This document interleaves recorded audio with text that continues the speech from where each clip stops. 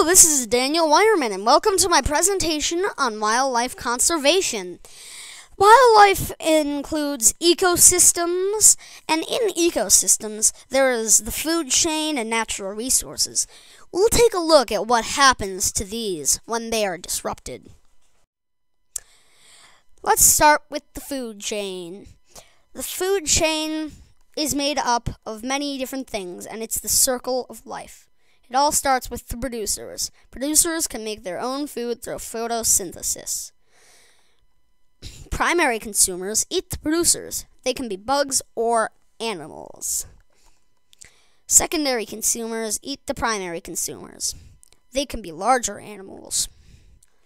Tertiary consumers, even larger animals that eat secondary consumers. Decomposers are microorganisms that eat dead consumers.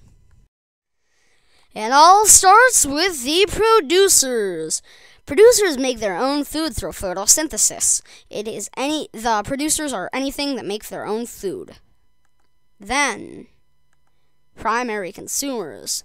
They are smaller animals or any herbivore that eats the producer.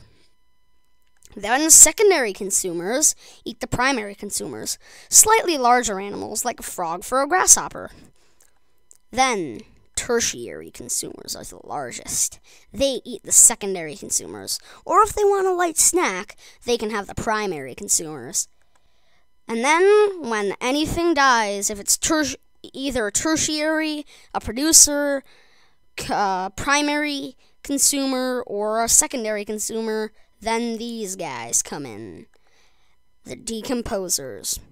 They decompose the dead tissue of tertiary, secondary, primary, even the producers. And then when that is when they, uh, when they decompose it, turns into soil and sprouts the producers. And that is the circle of life. Just like the food chain, if natural resources are disturbed, it can have negative effects on the wildlife living in that area.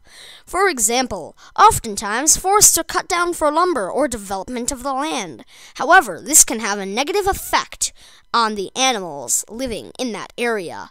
Let's look at one such animal, the proboscis monkey. The proboscis monk there are less than 7,000 proboscis monkeys left in the world because their habitat is being destroyed. They are exclusively found in the coastal rainforest of Borneo Island. They live in higher levels of the forest canopy. Unlike other endangered animals, such as the American bison, eagle, and Californian condor, which have increased their number by thriving in a safe environment, the proboscis monkey does not adapt well to living in captivity in an artificial environment. Because of their diet, they cannot be relocated to any other form. The diet of the proboscis monkey is mostly made up of leaves from the surrounding trees and overripe fruit. the fruit must be overripe because they have very sensitive stomachs that cannot digest ripe fruit. Because of this special diet, they cannot be relocated to any other forest.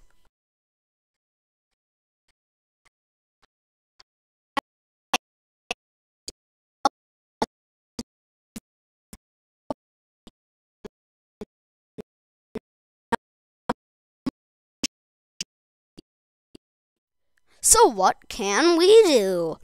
We probably can't do much for the proboscis monkey since they live in Borneo. However, we can take care of the natural resources around us. We can follow the leave no trace principles, which are know before you go, choose the right path, trash your trash, leave what you find, be careful with fire, respect wildlife, be kind to other visitors. We can also follow the outdoor code. As an American, I will do my best to be clean with my outdoor manners, be careful with fire, be considerate in the outdoors, be conservation minded.